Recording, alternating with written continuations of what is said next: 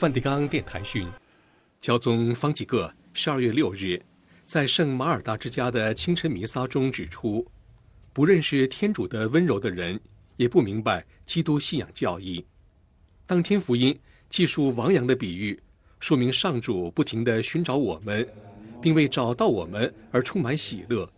教宗表示，上主像判官一样到来，但他是一位充满爱抚的判官。一位充满温柔的判官，他千方百计拯救我们。他来不是为了谴责，而是为了拯救。教宗说：“上主对待尤达斯的态度，最能让我领会上主对亡羊的态度。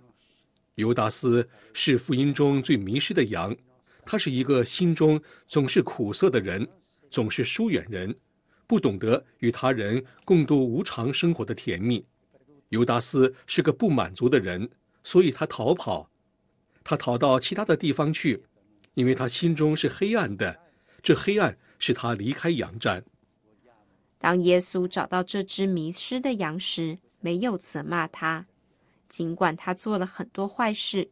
在橄榄园，耶稣还称尤达斯为朋友，这就是天主的爱抚。教宗最后总结道。谁不认识上主的爱抚，也就不明白基督信仰教义；谁不让上主温柔的抚摸他，就会迷失。这是喜讯，这是今天我们所渴望的真诚的欢心，这是喜乐，这是我们寻找的慰藉。愿天主带着他的大能降来，他的大能是安慰、寻找我们和拯救我们。犹如迷失的羊，把我们引入他教会的羊站。